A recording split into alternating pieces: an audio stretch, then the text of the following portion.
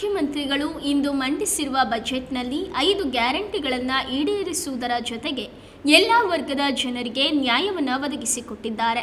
ಕೇಂದ್ರ ಸರ್ಕಾರ ರಾಜ್ಯಕ್ಕೆ ಮಾಡಿರುವ ಅನ್ಯಾಯ ಹಾಗೂ ಈ ಹಿಂದಿನ ಸರ್ಕಾರ ಬಿಟ್ಟು ಹೋಗಿರುವ ಸಾಲ ಎಲ್ಲವನ್ನೂ ಎಳೆ ಎಳೆಯಾಗಿ ಬಿಚ್ಚಿಟ್ಟಿದ್ದಾರೆ.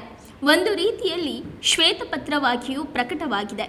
ನೀರಾವರಿ ಸೇರಿದಂತೆ ಎಲ್ಲ ಇಲಾಖೆಗೂ ನ್ಯಾಯ ಒದಗಿಸುವ ಕೆಲಸವನ್ನ ಮುಖ್ಯಮಂತ್ರಿಗಳು ಮಾಡಿದ್ದಾರೆ ಎಂದು ಮೂಲಭೂತ ಸೌಕರ್ಯ ಸಚಿವರಾದ ಎಂಬಿ ಪಾಟೀಲ್ ಅವರು ಮಾಧ್ಯಮಕ್ಕೆ ತಿಳಿಸಿದ್ದಾರೆ. ಈ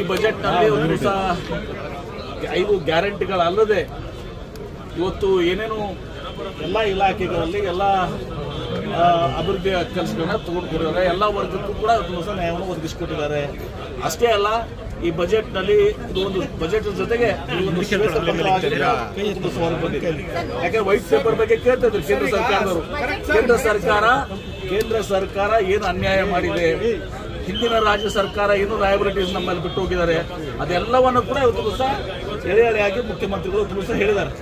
ಹೀಗಾಗಿ ಅವರು ವಿರೋಧ ಪಕ್ಷದವರು ಈ ಬಜೆಟ್ ಮುಗಿಯುವಂತದ್ದು ಅವ್ರಿಗೆ ತಾಳ್ಮೆ ಇರಲಿಲ್ಲ. ಹತ್ತು ನಿಮಿಷಕ್ಕೆ ಎದ್ದು ಹೋಗಿದ್ದಾರೆ ಅವರು.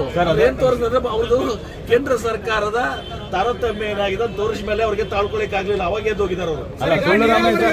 ಪ್ರಮುಖವಾಗಿ ನಾಲ್ಕೈದು ನೀರಾವರಿ ಯೋಜನೆಗಳಿಗೆ ಯಾವ್ದು ಹಣನೇ ಇಟ್ಟಿಲ್ಲ ಈ ಬಜೆಟ್ನಲ್ಲಿ ನೋಡಿ ನೀರಾವರಿಗೆ ಸುಮಾರು ಹತ್ತೊಂಬತ್ತು ಸಾವಿರ ಕೋಟಿ ರೂಪಾಯಿ ಕೊಡ್ತೀವಿ ಈ ವರ್ಷ ಹತ್ತೊಂಬತ್ತು ಸಾವಿರ ಕೋಟಿ ಕೊಟ್ಟಿದ್ದೀವಿ. ಏನು ಹಣ ಇಟ್ಟಿಲ್ಲ ಅಂತ ಹೇಳ್ತಾರಲ್ಲ ಹತ್ತೊಂಬತ್ತು ಸಾವಿರ ಕೋಟಿ ರೂಪಾಯಿ ನೀರಾವರಿಗೆ. ಅಪ್ಪರ್ ಕೃಷ್ಣ ಮೇಕೆದಾಟು ಮತ್ತು ಕಳಸ ಬಂಡೂರಿ ಅದಕ್ಕೆ ಆಗ್ಲಿಕ್ಕೆ ಸಮಯ ತೆಗೆದುಕೋತದೆ ಕ್ಲಿಯರೆನ್ಸ್ ಕೃಷ್ಣನು ಕೂಡ ಇವತ್ತು ಮೇಜರ್ ಮೇಕೆದಾಟು ಸರ್ ನಮ್ಮ ಹಕ್ಕು ನಮ್ಮ ಹೋರಾಟ ಎಲ್ಲಿಗೆ ಬಂತು ಮೇಕೆದಾಟುಗೆ ಇನ್ನೂ ನಮಗೆ ಕ್ಲಿಯರೆನ್ಸ್ ಬಂದಿಲ್ಲ. ಹಣ ಇಟ್ಟರು ಫಾಸಲ ಇವರು ಹಣ ಇಟ್ಟರು ಒಂದ್ ಸಾವಿರ ಕೋಟಿ ರೂಪಾಯಿ. ಏನ್ ಪ್ರಯೋಜನ ಆಯ್ತಾ? ಕಳಸ ಬಂಡೂರಿಗೆ ಒಂದ್ ಸಾವಿರ ಕೋಟಿ ರೂಪಾಯಿ ಪ್ರಯೋಜನ ಆಯ್ತಾ? ಇವತ್ತು ಕ್ಲಿಯರ್ ಸಬರ್ಬನ್ ರಿಲೇಟ್ಸ್ ಹೇಳಿದೇವಲ್ಲ ಇವತ್ತು. ಇವತ್ತು ಅದನ್ನು ಹೇಳಿದೀವಿ ಇವತ್ತು. ಮೊನ್ನೆ ಎರಡು ಒಂದು ಕರೋಡ ಇದು ಮಾಡಿದ್ವಿ ಎರಡನೇ ಕರೋಡ ಮಾಡಿದ್ದೀವಿ.